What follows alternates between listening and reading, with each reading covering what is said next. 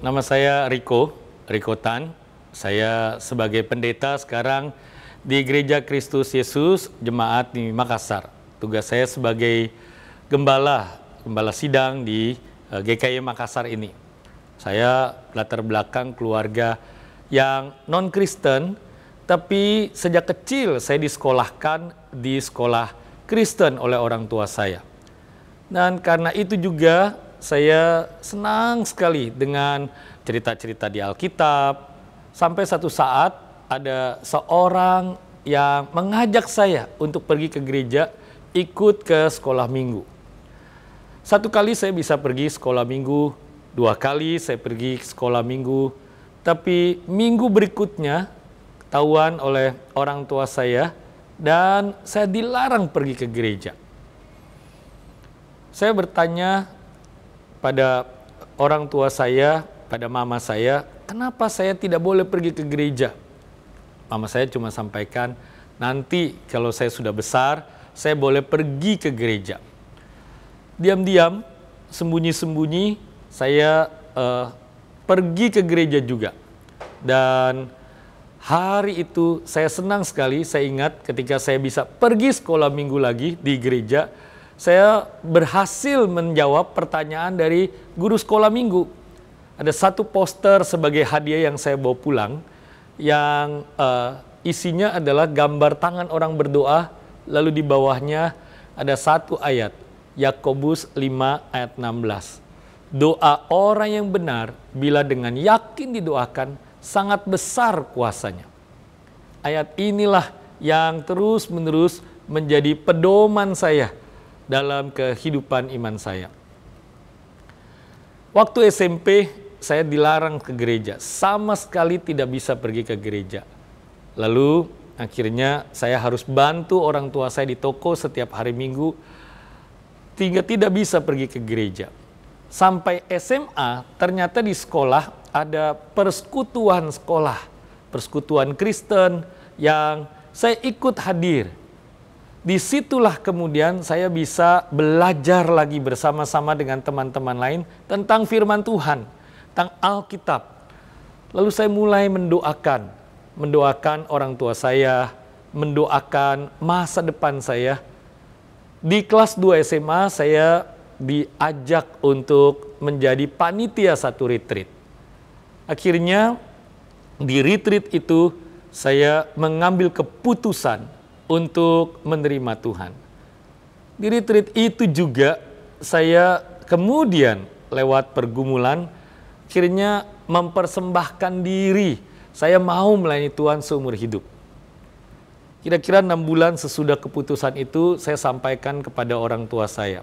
Orang tua saya ternyata marah dan mereka uh, tidak mau terima saya kemudian menjadi seorang percaya Tuhan saya sampaikan bahwa saya mendapat panggilan untuk menjadi hamba Tuhan. Orang tua saya, papa saya khususnya tambah marah. Apalagi waktu itu dia tahu saya dapat kesempatan untuk memperoleh beasiswa bisa sekolah di Jerman. Tapi saya tetap pada pendirian saya.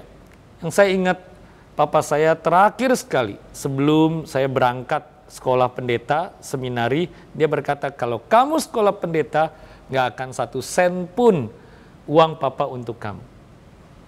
Saya tetap berangkat pergi ke seminari.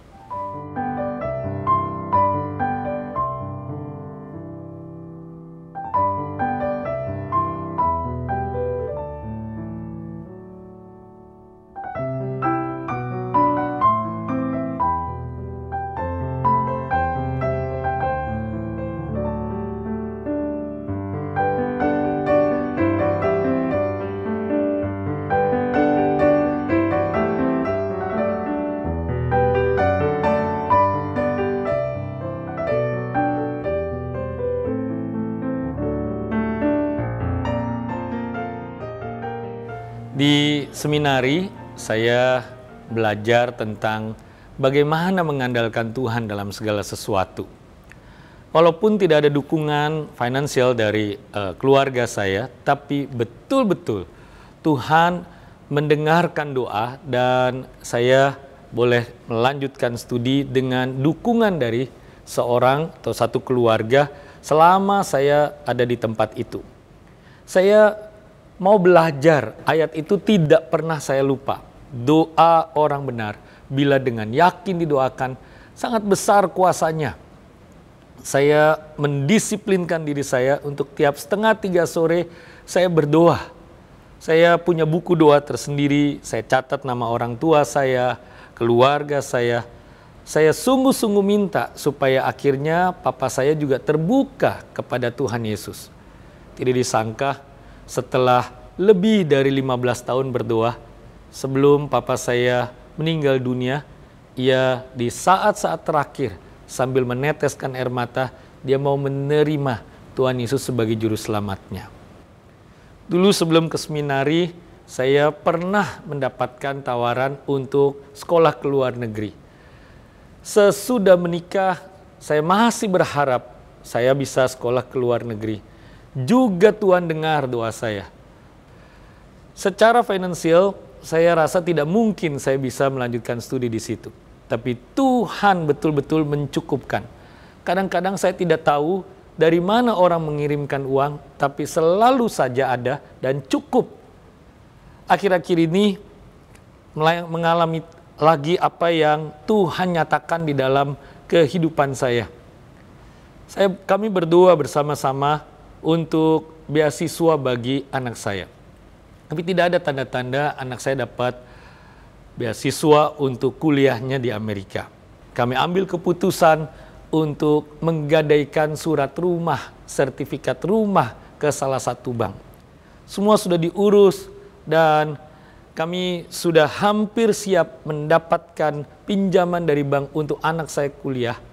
Hari itu saya akan ke Jakarta untuk menyerahkan surat rumah.